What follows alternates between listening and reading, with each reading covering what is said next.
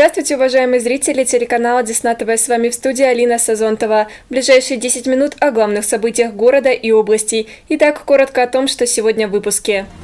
Росэнергоатом и Смоленская АЭС знакомят десногорцев с шедеврами мирового искусства. Десногорцы за комфорт и уют в городе.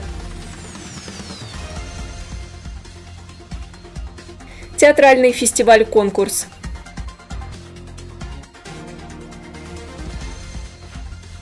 Традиционные соревнования по лыжным гонкам –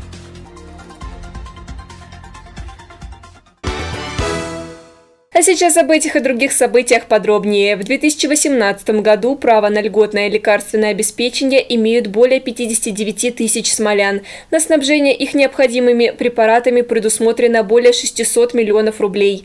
Организацию отпуска льготных лекарств обсудили в областной администрации. Теперь с 1 февраля на сайте Департамента по здравоохранению будет размещаться ежедневная информация о наличии конкретных препаратов в конкретных аптеках. В художественной школе Десногорска открылась экспозиция «Ареал культуры», организованная в рамках проекта «Территория культуры Росатома». Проект подготовлен Московской галереей «Маст Art Gallery». В нем представлены признанные мировые шедевры, отобранные профессиональными искусствоведами и педагогами. Подробности далее. В экспозицию вошли репродукции картин великих мастеров мира – Леонардо да Винчи, Веласкеса, Микеланджело, Рембранда, Рубенса и других. Торжественное открытие нового образовательного проекта состоялось 31 января. Наш город очень плотно работает с концерном «Росэнергоатом» и со Смоленской атомной станцией. И постоянно мы э, пытаемся во всех проектах, которые реализуются в концерне, также участвовать. Вот один из этих проектов – это территория культуры Росатом. Сегодня мы с вами можем наблюдать вот эти вот замечательные репродукции, которые представлены здесь, э, которые в свою очередь помогут вам, как будущим великим художникам, я в этом абсолютно уверен, да, узнать историю искусства, историю, историю живописи. Расширив свой кругозор, воспитав в себе эстетический вкус и поняв э, развитие, наше, развитие искусства всей нашей цивилизации, от античности до постмодернизма и все, что с этим включено. В конце концов, мы задача и концерна «Росатом», и Смоленской атомной станции, и всех жителей – это воспитать людей мыслящих, ценящих и понимающих искусство. Ареал культуры можно назвать кратким экскурсом в историю искусства. Экспозиция состоит из 12 тематических блоков. Каждый из них включает 25 репродукций, ярчайшим образом характеризующих эпоху. Таким образом, за год десногорцы увидят 300 известных произведений. Первая экспозиция – это эпоха Ренессанса и репродукции известных художников, которые включены в программу обучения школьников. Очень доступная выставка, потому что э, уже мы слышали слова благодарности от наших посетителей, от наших родителей о данной выставке. Говорит, очень доступно, очень все понятно и интересно в плане вот просветительской такой вот э, деятельности. Все репродукции сопровождаются аннотациями, которые позволяют донести до детей смысл и значение представленного произведения. Очень понравилась эта выставка, а, было очень интересно рассматривать ее, она очень доступная, было интересно ее читать. Я получила массу удовольствия от этой выставки и информации. Мне очень понравилась эта выставка, так как она интересная и познавательная для детей. И ну, никакой ребенок, мне кажется, не сможет съездить в эти города, чтобы посмотреть, и здесь есть возможность. Выставка даст десногорским детям начальное представление об истории искусства и поможет развить творческое воображение и образное мышление. Пассажиры поездов дальнего следования РЖД могут оформить билеты в купейные вагоны поездов отправлением с 22 по 25 февраля со скидкой 50%. Акция приурочена ко Дню защитника Отечества. Билеты со скидкой можно приобрести с 30 января по 5 февраля в кассах железнодорожных вокзалов и агентств, а также онлайн на официальном сайте РЖД и с помощью мобильного приложения РЖД пассажирам. В 2018 году в Десногорске пройдет благоустройство общественных территорий. Выбрать объекты для реставрации могут сами горожане путем интернет-голосования. О том, как это работает в Десногорске, в нашем следующем сюжете. Десногорские жители активно включились в голосование. По проекту «Комфортная городская среда» лидирующую позицию занимает территория парковой зоны между первым и вторым микрорайонами. Жители выбирают и другие объекты для благоустройства. Между школами третий и четвертый, потому что там постоянно сыро. Хочется, чтобы ходить было комфортно, сухо и детям, и нам, взрослым. По проекту «Любимый город» собрано свыше двух тысяч голосов. В лидерах реконструкция фонтана с освещением. Здесь я согласна, что здесь тоже было бы неплохо сделать. Все-таки это и центр, и здесь тоже отдыхает много народу и зимой, и во все времена года.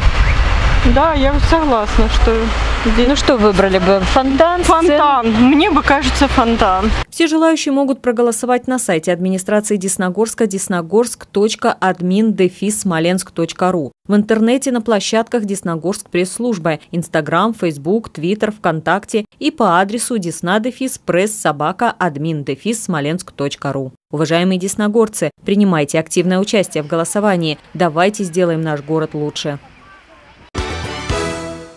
1 февраля под Смоленском двое мужчин погибли на пожаре. Трагедия произошла в частном деревянном доме в деревне Михновка. Известно, что накануне в доме компания распивала спиртные напитки. Когда начался пожар, во двор успели выйти все, кроме одного гостя.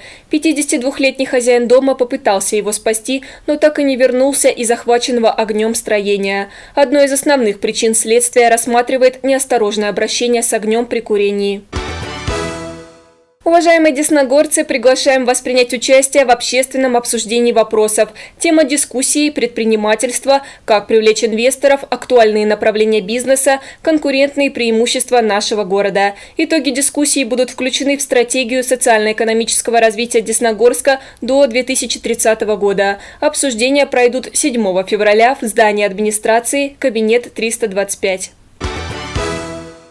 Проект «Школа Росатома» реализуется с 2011 года по инициативе государственной корпорации по атомной энергии «Росатом». Проект направлен на развитие систем образования атомных городов. Ежегодно в проекте появляются новые направления конкурсных программ для детей и взрослых. В этом году впервые было включено театральное искусство. О том, как прошел муниципальный этап фестиваля конкурса в Десногорске, смотрите в нашем сюжете. 1 февраля в третьей школе состоялся муниципальный этап фестиваля конкурса «Те-Арт Олимп Росатома». В нем приняли участие две команды – ученики третьей школы и воспитанники детского дома творчества. Перед ними стояла задача сделать постановки на тему «Улица с историей». Улица – это место, где встречаются люди, разные по возрасту, социальному положению, настроению. Улица – это место, где они проживают определенное время своей жизни, она имеет свою историю и тайны. Цель фестиваля – привлечь как можно больше детей к здоровому творческому образу жизни жизни. Жюри очень сложно было определить победителя. У нас э, сегодня было всего лишь два коллектива, но тем не менее жюри да, очень даже сложно подвести итоги, потому что, несмотря на то, что это непрофессиональные э, коллективы и на сцене дети, но многие детали их выступлений оказались э, на высоком таком уровне, который уже можно назвать близким к профессиональному. Спектакль мне очень понравился, эмоции были ну, ну, на высоком уровне. Э, был сам сюжет очень интересный. Мне, честно, понравился второй спектакль больше. Он был очень эмоциональным. Были хорошие герои. Ну, очень интересно было. Финальный этап будет проходить с 4 по 6 марта в Новоуральске в Свердловской области. Всего в конкурсе примут участие 74 детских театра из 18 городов. А в завершении новости спорта. В Десногорске в последний день января на трассе в Генина прошли открытые соревнования по лыжным гонкам «Фонарь». Их цель – популяризация и развитие лыжных гонок, а также повышение спортивного уровня участников. Более 40 спортсменов собрались в морозный вечер посоревноваться в лыжных гонках. Принять участие мог любой желающий, который имеет соответствующую подготовку и допуск врача. Женщины и дети стартовали на дистанцию 3 километра. Мужчинам необходимо было проехать 5 километров. Все успешно и без падений достигли финиша. Чтобы быть успешным лыжником, ну, качество, значит, э, терпение должно быть, очень большое терпение, э, целеустремленность.